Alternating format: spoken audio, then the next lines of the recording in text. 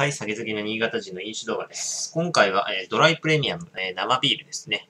えー、また新しいのが出たっぽいです。え限定醸造の、えドライプレミアムの、え焙煎仕立てです。多分新しいと思います。アルコール度数6.5%。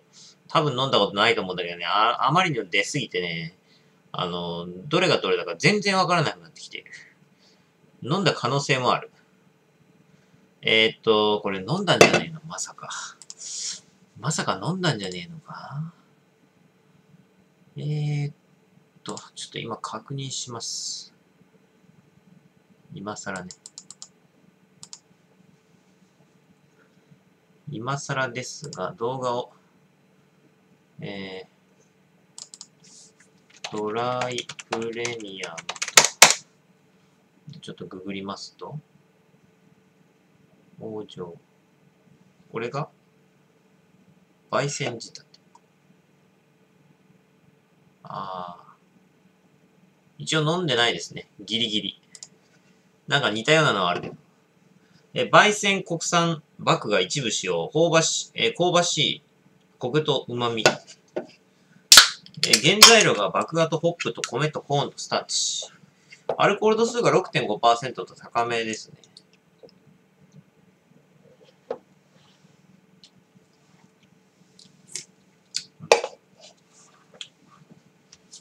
じゃあ乾杯。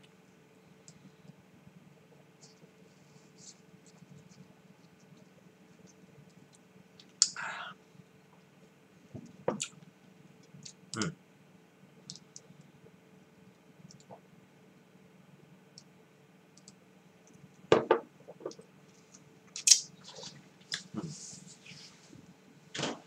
ん。うん。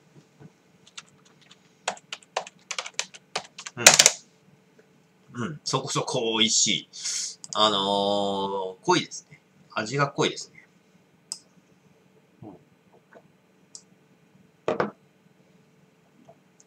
うん。ちょっと酸味が強めかな。うん、うん。えー、っと。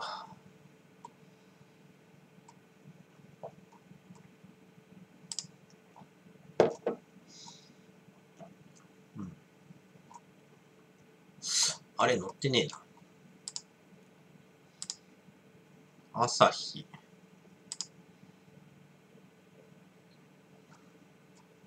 いろいろ出てて多分これ載ってないですね。朝日のサイトには載ってない。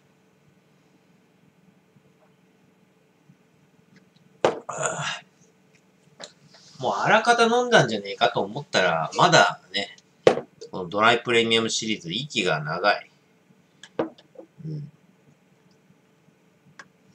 まあ値段も高いし、まあ、なんかあのー、なんだ、あのー、ギフト限定とかね、よく言ってますけど、まあギフト限定と思わせつつ、実はね、普通にね、売ってるという。うん。うまいんだけど。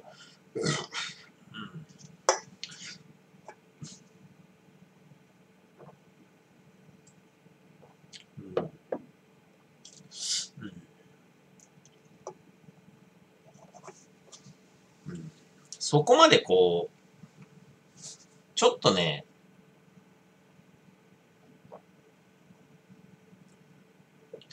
うん、まあ、濃いは濃いんだけど、焙煎かっていうと、結局、焙煎っていうことは、あの、黒ビール的なもんでしょ。でも、色からしても、味からしても、別に、黒ビールっぽさは、あの、全然感じないんですけど。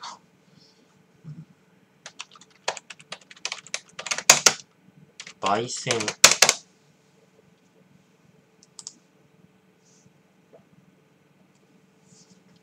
これギフト限定っぽいな。朝日ドライプレミアム限定セット。えー、っと、2016年の、え10月のギフト。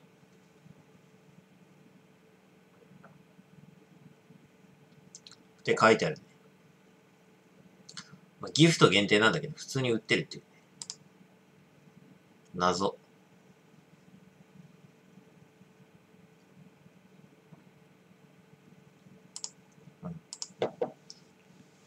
普通に売ってるという謎仕様。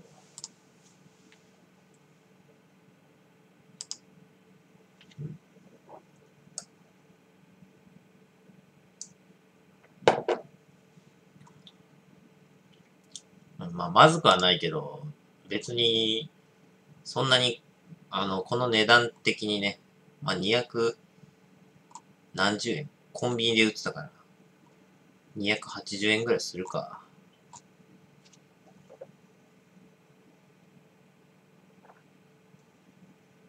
ってことを考えると、で、焙煎っていうほど焙煎も全然知らんし、しない、焙煎って書いてるけどな。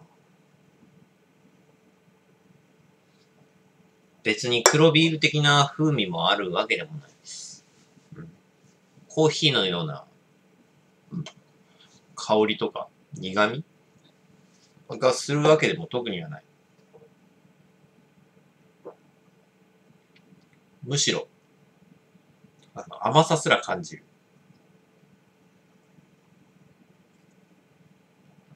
苦いとか以前に甘いんだけど。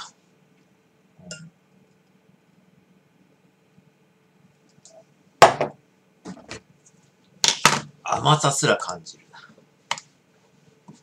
これ本当に焙煎してんの？っていう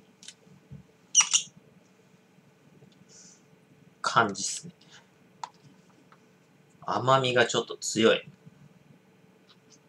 香りもまあ強いけど、まあ、これは別に普通でいいんじゃないか。えー、3443です。ご視聴ありがとうございました。